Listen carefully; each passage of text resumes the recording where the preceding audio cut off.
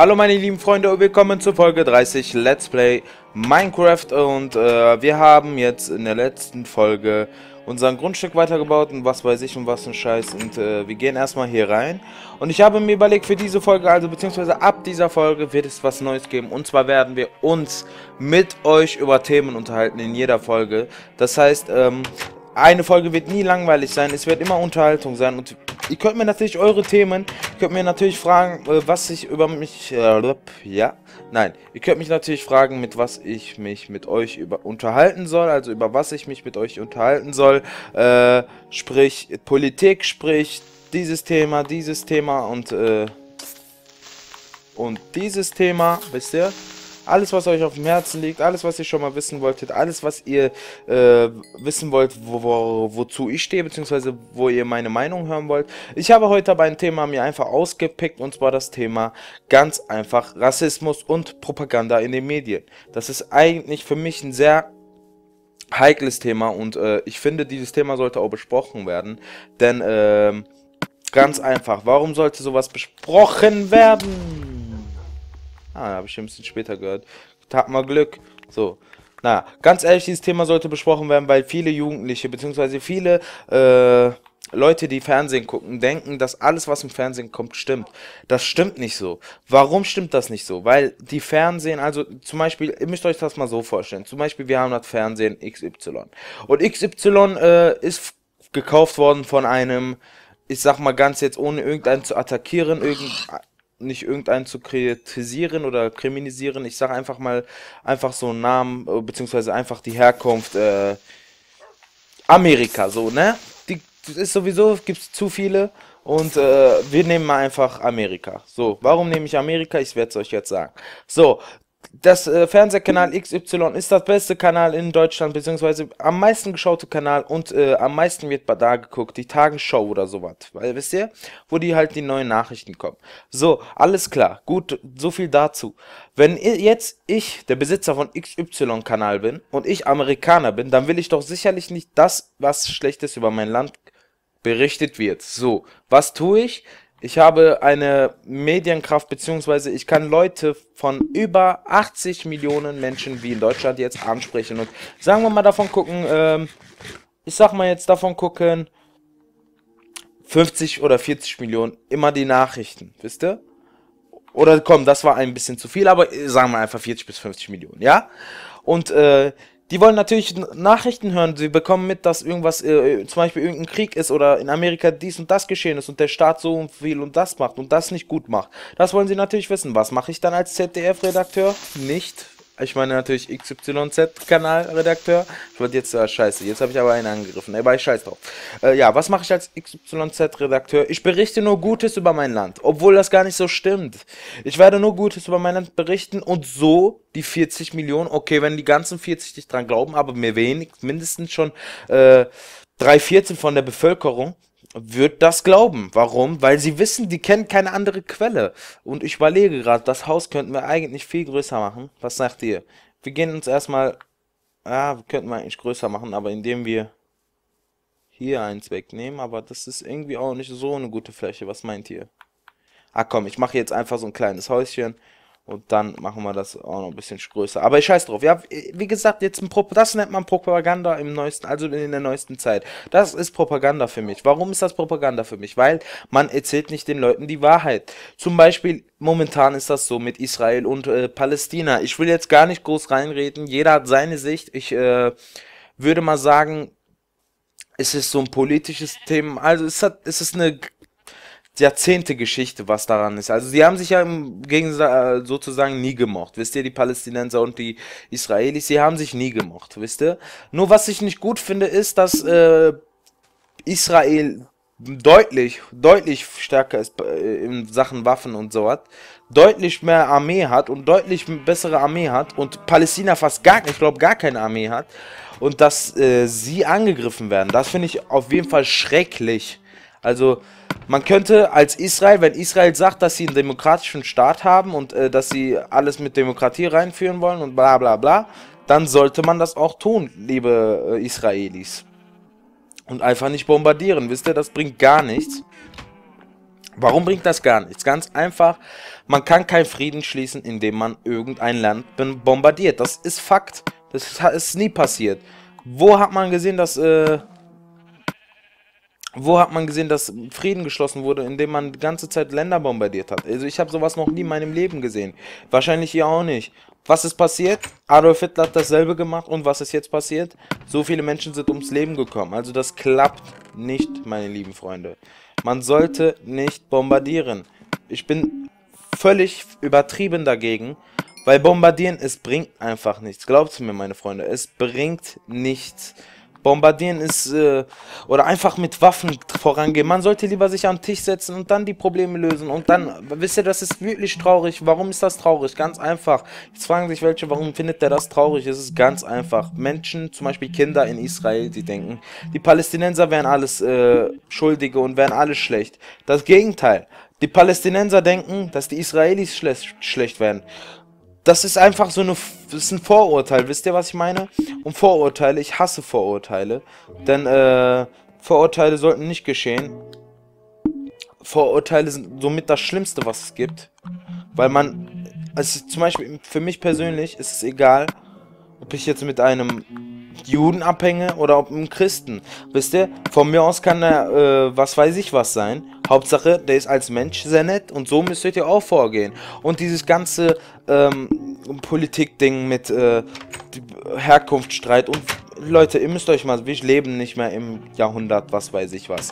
Wir leben in einer Zeit, wo, wo wir friedlich miteinander leben können. Das, das ist Fakt, ne? Das kann keiner bestreiten von euch. Und äh, ich muss mal voll vieles hier ablegen. Warte, ich sehe schon Kaktus und so was. Warte mal, Leute. Hier, vielleicht ist hier Eisen. Ne, Eisen war unten, ne? Stimmt. So. Ich muss voll vieles ablegen, wie ich gerade sehe. Und ja, wie gesagt, Leute, das ist, bringt gar nichts, über die Herkunft sich hinzustreiten. Wenn zum Beispiel einer der Jude ist, ich muss, äh, ich bin zum Beispiel aus der Türkei und die Türken, sie mögen jetzt nicht die ganzen Juden, wisst ihr? Und äh, das ist auch okay so, ne? Wenn, wenn die die nicht mögen, dann mögen sie halt die Juden nicht. Aber was ich ich weiß nicht, das kann eigentlich, ich muss jetzt auch mal was sagen dazu. Ich kann das eigentlich auch nicht nachvollziehen, weil wie kann man einen Juden nicht mögen, indem man den nicht kennt? Also ist, wisst ihr, wenn ich jetzt äh, Muslim bin oder wenn ich jetzt Muslim bin, kann, heißt das doch nicht, dass ich direkt Terrorist bin. Wenn ich Christ bin, heißt das doch nicht direkt, dass ich ähm, Nazi bin. Und wenn ich Jude bin, heißt das doch nicht direkt, dass ich äh, israelische Demokratie äh, unterstütze. Es heißt einfach nichts. Versteht ihr, Freunde? Und das ist dieses Ding, was mich richtig aufregt bei den Herkunften die diese Vorurteile haben. Und diese Vorurteile, glaubt mir Leute, das bringt ganz und gar nichts. Das ist wirklich völliger Schwachsinn.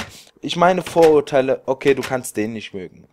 Ne? Du magst den einfach nicht. Aber dann bist du auch in meinen Augen kein Mensch. Weil ein Mensch, ein richtiger Mensch, der Herz hat.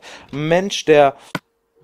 Ein Mensch, der weiß, dass äh, man jedem Menschen eine Chance geben sollte, beziehungsweise man keinen Menschen einfach so verurteilen sollte einfach nicht wegen der Herkunft verurteilen sollte und einfach nicht mal sagen sollte, zum Beispiel, oh, ich mag den nicht, weil er Jude ist und äh, Juden sind immer schlecht, die haben das und dies gemacht. Hör mal, da habe ich nur eins zu sagen. Die Juden, die das oder die Israelis, das ist eine Herkunft und Jude sein ist eine Religion. Klar, die Herkunft und Religion haben was miteinander zu tun, ich weiß das. Aber du kannst doch jetzt nicht einen Juden, der in Amerika lebt oder hier in Deutschland lebt, den Juden vergleichen, der in äh, Israel ist, oder mit den Juden vergleichen, der äh, Israel-Präsident, zum Beispiel der Israel-Präsident, Ministerpräsident, der ist auch Jude. Und was tut das zur Sache? Gar nichts. Heißt das jetzt, die Religion ist dabei schuld? Nein. Also Leute, ich würde euch dringend raten, nie Vorurteile zu haben, weil Vorurteile sind somit, somit das Schlimmste, was es gibt auf dieser Welt. Und äh, Vorurteile sind gar nicht mein Fall. Also wenn ihr zum Beispiel, wenn ihr schon mal in eurer Vergangenheit oder was weiß ich was, irgendeinen wegen, wegen seiner Herkunft und wegen was weiß ich verurteilt habt und habt gesagt, äh, äh, das ist, äh, du bist ein, du bist scheiße, weil du bist äh, Jude. Weißt du, wenn ihr sowas sagt, dann habt ihr ein No-Go bei mir, ganz ehrlich. Weil sowas sollte man nicht tun, liebe Freunde. Man sollte jeden respektieren, so wie er ist. Ich habe Kollegen, die sind Christen. Ich habe einen italienischen Kollegen. Ich habe einen deutschen Kollegen. Ich habe türkische Kollegen. Ich habe äh, voll viele Kollegen und wir leben einfach alle. Wir sind alles Menschen. Das hat gar nichts damit zu tun, dass ich den und den nicht cool finde. Oder dass ich den und den hasse. Nein, liebe Freunde. Hört auf mit diesen Vorurteilen. Warum? Weil das bringt nichts. Das ist einfach nur Wisst ihr, das wollen die Bösen. Was heißt die Bösen? Die Politiker, die da sitzen und jedes Volk mit einmischen möchten. Beziehungsweise jedes Volk hetzen möchten. Das möchten sie. Sie möchten uns hetzen. Und wenn ihr, wenn ihr die Chance dazu gibt und wenn ihr auch noch da reinfällt und wenn ihr sagt, ja, XY hat so und so gesagt. Zum Beispiel, ich sehe ich bin ja Türke, habe ich ja schon oft genug gesagt und ich sehe das manchmal. Bei uns ist ein heißes Thema immer Politik. Politik, Politik, Politik. Bei uns Türken geht es nur um Politik. Ihr könnt jeden Türken fragen, er wird euch das bestätigen. Es geht nur um Politik. So Leute, ich vergleiche das mal mit euch. Ganz einfach. Wenn an, also in der Türkei ist das so. Ich vergleiche das euch mal mit dem deutschen Beispiel. Ihr würdet direkt denken, was ist das denn für ein Schwachsinn? So, ich bin, äh, ich wähle die CSU. So, ich wähle die CSU und äh, ich finde die Partei einfach gut. Ich finde Merkel, äh, CDU meine ich, äh, CSU, CDU ist sowieso das gleiche, aber ich, ich mag Merkel einfach, ich mag ihre Politik. Okay. Und wenn jetzt ein anderer die SPD wählt, mein Kollege, dann wird er von mir verurteilt. Bei den Türken ist das so. Es tut mir leid, jeder Türke kann das bestätigen. Wenn mir jetzt ein Türke sagt, nein, das stimmt nicht so, dass der lügt. Weil, wenn ich jetzt nicht für Erdogan bin, das heißt dann automatisch, dass ich ungläubig wäre, dass ich äh, nichts Gutes will für die Türkei, dass ich äh, Verräter wäre, zum Beispiel, dass ich ein Verräter wäre. So viele Sachen, Leute, das sind, das sind Sachen so, da kommt, dann denkt ihr euch nur, what the fuck, was passiert hier, ne? Das sind so Sachen, das ist immer in, also beziehungsweise so ist das bei uns in den Ländern, beziehungsweise in der Türkei. Jetzt denken sich die Türken, ah, der präsentiert uns schlecht. Nein, Hand aufs Herz, ihr müsst das einfach zugeben. Es ist einfach so. Weil es gibt, es geht einfach nicht anders. Es geht einfach nicht anders. Wenn man, weil das ist die erste Frage bei den Türken immer, woher kommst du? Hat, habt ihr schon mal hier in Deutschland erlebt, dass einer direkt gefragt hat, woher kommst du? Nein. Das tut man hier nicht. Warum tut man das hier nicht? Ganz einfach aus diesem Grund ist es scheißegal, woher man kommt. Hier gibt es tausend, tausende Nationen, okay, tausende nicht, okay, paar hunderte Nationen gibt es hier in Deutschland und jeder lebt miteinander friedlich, wie wir sehen. Unsere Politik läuft gut und ich würde nicht gerne in der Türkei wohnen. Da, ich weiß nicht, ich bin zwar Türke und ich liebe mein Land über alles, und ich, ich liebe es einfach und ich sage auch, dass ich Türke bin. Aber ich könnte da nicht leben. Hand aufs Herz auf die Leute, die hier geboren sind, die die türkische Abstammung haben. Ihr könnt hier auch nicht leben, Leute. Es geht einfach nicht. Es ist einfach ganz anders als drüben. Also hier ist es ganz anders als drüben. Und äh, Deswegen kann mir keiner sagen, ich kann in der Türkei leben. Man, wisst ihr, ihr könnt da, kann man nicht beurteilen, weil man macht ja nicht immer da Urlaub, versteht ihr? Man macht, man ist ja nicht immer am See, äh, am Meer und äh, man ist ja nicht immer in, was weiß ich, Fünf-Sternen-Hotels, wisst ihr? Um da zu leben zu können, da ist es schwieriger auf jeden Fall. Wir haben es hier in Deutschland ganz einfach. Ich meine, wir müssen uns zu schätzen wissen. Also, was haben wir denn hier? Guck mal, wir haben uns alles hier äh, Deutschland ermöglicht. Zum Beispiel in der Türkei war vor kurzem YouTube-Sperre und Twitter-Sperre. Sowas, wenn es sowas in Deutschland geben würde, wird Deutschland untergehen. Sie, die würden sowas auch nicht tun. Warum würden die sowas nicht tun? Ganz einfach aus diesem Grunde. Warum sollen die es tun? Die ganze Bevölkerung ist zufrieden. Und es gibt Quatsch. Es gibt keine Scheißpolitik mit, äh, ja, äh, die belauscht... Aha, Skelett ist reingekommen.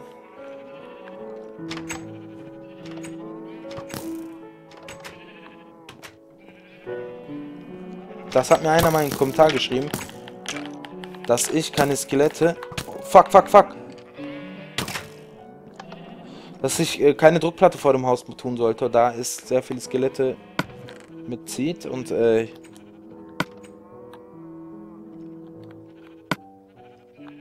Was ist das denn? Eichenholz? Eichenholz. Wir uns auch noch ein paar Machen. Also ich finde, wie gesagt, ich, ihr wisst jetzt, wie ich dazu stehe. Und ich hoffe, ihr steht auch dazu so, weil es bringt wirklich nichts, liebe Freunde. Wisst ihr? Politik ist eine Nebensache. Politik ist einfach für mich, ich bin unpolitisch, äh, unpolitisch und ich würde niemals einen Freund von mir äh, politisch verurteilen oder beziehungsweise den überhaupt verurteilen und sagen, hör mal, du bist so und so, ich mag dich nicht. Ich wäre der Letzte, der sowas tun würde. Schnauze halten. Also ich bin der Letzte, der sowas tut. Weil äh, das macht man einfach nicht, liebe Freunde.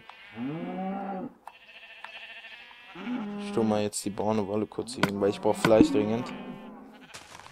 Ist irgendwie alles unorganisatorisch, aber was soll ich machen? Das werden wir noch in der nächsten Folge organisieren. Und ja, wie gesagt, ich finde, Freunde, ihr solltet, Politik ist immer eine Nebensache, Herkunft ist auch immer eine Nebensache. Was wichtig ist nur, dass man ein guter Mensch ist und dass man äh, Menschenleben schätzt. Also ihr müsst einen finden, der das auch schätzt, dass ihr ihn gut behandelt, wisst ihr? Es gibt Leute, die schätzen sowas einfach nicht. Die sagen einfach Scheiß drauf und äh, ja, ciao.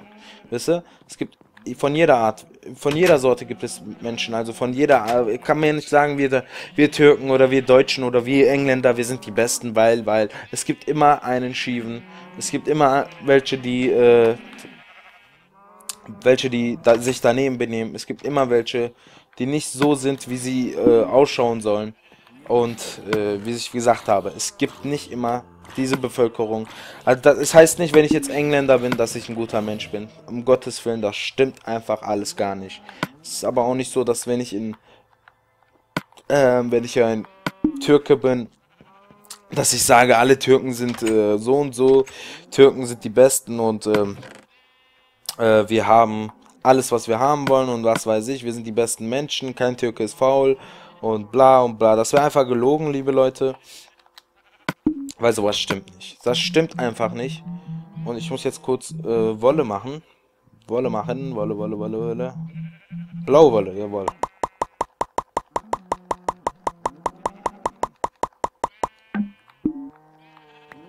Ja, das sieht schick aus. 26. So. Ja, das sieht ganz gut aus. Jetzt haben wir blaue Wolle und das können wir einfach als Baumaterial benutzen. Ja. Äh, wie gesagt, schreibt mir auf jeden Fall in die Kommentare, wie ihr zu diesem Thema find, steht. Und äh, ich finde, es ist ein sehr heißes Thema, beziehungsweise man sollte sich wirklich mit diesem Thema manchmal beschäftigen. Und äh, man sollte dieses Thema nicht einfach so da lassen. Dschungelholzbretter sehen auch eigentlich ganz cool aus. Aber vielleicht lasse ich diese Dschungelholzbretter einfach mal so. Und gönne mir jetzt mal ein Steak. Also, jetzt nochmal an meine Zuschauer. Ich bitte euch vom Herzen, dass ihr, wenn ihr einen Menschen trifft oder was weiß ich wen trifft, den nicht wegen seiner Herkunft verurteilt. Das ist das Schlimmste, was ihr machen könnt. Und äh, ich meine, kein Mensch kann was für seine Herkunft. Weil äh, wenn ich jetzt aus was weiß ich wo komme und da wo da gibt es nur Krieg und äh, die zum Beispiel die Deutschen, ne? Was können jetzt die Deutschen, die jetzt in dieser Zeit leben oder die Deutschen, die danach gelebt haben, was können die dafür, dass es so Menschen wie Hitler gab? Können gar nichts dafür. Können, Hitler war auch nicht mal Deutscher. Das kann man nie ver verurteilen. Oder die Leute, die sagen, wenn automatisch ein Deutscher sagt, ich mag den und den nicht, ich mag dich nicht, weil du so und so bist, dann ist man nicht automatisch ein Nazi, wisst ihr? Man sollte diese Vorurteile lassen, Leute. Man sollte äh, im Frieden leben. Wir sollten einfach so leben, wie wir schon die ganze Zeit leben und uns keine Beispiele von irgendwelchen anderen Ländern nehmen, wie Israel. Weil was, ich, was Israel macht, ist der allerletzte Dreck. Wie gesagt, ich stehe gar nicht dazu. Und ich verstehe auch nicht, warum Frau Merkel hinter Israel steht. Weil mh, das ist immer so eine Sache. Die Medien stehen hinter Israel. Es wird alles so. Glaubt bitte nicht den Medien, was in den Medien. Wenn ich eine, wenigstens eine geringe Zuschauerzahl habe und die Zuschauerzahl beeinflussen kann, dann sage ich zu euch, lasst euch nicht beeinflussen von den Medien, bitte. Das ist das Schlimmste, was ihr machen könnt. Medien, Medien ist nichts. Medien ist einfach gekaufte Kacke. Ich kann mir, wäre ich reich, kann ich mir auch einen, irgendeinen Scheiß, äh, irgendeinen Scheiß Kanal machen oder äh, Kanal besorgen, im Fernsehen ausstrahlen lassen und könnte äh, könnte dann das, was ich will, laufen lassen, wisst ihr? Das, wie ich es sehe. Also Medien, No-Go. Medien sind in meinen Augen No-Go. Also ihr solltet auch, ich würde sagen, einfach Nein zu den Medien. Nein zu den Medien, die äh, nicht die Wahrheit sagen. Und vor allem, wenn ich jetzt auch, einem, ich habe gerade eine, einen Kanal genannt aus Versehen, das mit Z anfängt. Ich, ich würde euch raten, dieser Kanal ist wirklich gekauft. Weil was ich da tagtäglich, manchmal schaue ich mir das an und was ich da höre, das stimmt alles nicht. Weil was ich dann auf Facebook äh, sehen kann, in Videos, das stimmt einfach nicht. Das ist alles mit Gewalt. Und so wie die es sagen, so ist es nicht. Also, das, die sollten sich mal wirklich jetzt mal an der Nase packen und fragen, warum die bringen wir so eine Scheiße. Und zum Glück haben wir so eine äh, Social, zum Glück haben wir die Social Medias und äh, die sozialen Netzwerke und können damit uns nicht ganz von den Medien beeinflussen lassen, können auch mal unsere Sachen posten und äh, jeder weiß ja mittlerweile wegen den Social Medias und so weiter und so fort, was in Israel bzw. auf der ganzen Welt los ist. Also nie den äh, Medien glauben. Es gibt fast keine Medien. Mediensache ist immer dies, wo kriege ich am meisten Geld, wo kriege ich am meisten dies. So, das ist Medien und äh, Medien sind nicht hundertprozentig die Wahrheit. Man muss das erstmal Wirklich. Oder macht euch einfach eigene Meinung dazu. Vielleicht sagt ihr auch, es ist alles wahr, was die Medien sagen. Äh, wenn ihr so steht, dann, äh, dann weiß ich auch nicht. Dann wünsche ich euch viel Spaß, ne? Äh, nein, also wenn ihr so drauf steht oder wenn ihr sagt, ja, da so ist es richtig, dann ist das halt für euch so richtig und macht euch einfach eure eigene Meinung ich sage mal, ich baue hier mal diese ganze Erde hier weg oder schaufel das Ganze mal weg und äh, dann verabschiede ich mich. Denn dann war es das von dieser Folge, von der Folge 30 und äh, ja, ich finde, war ganz gut und schreibt mir bitte unten in die Kommentare, wie ihr sowas findet mit den äh, Themen ansprechen.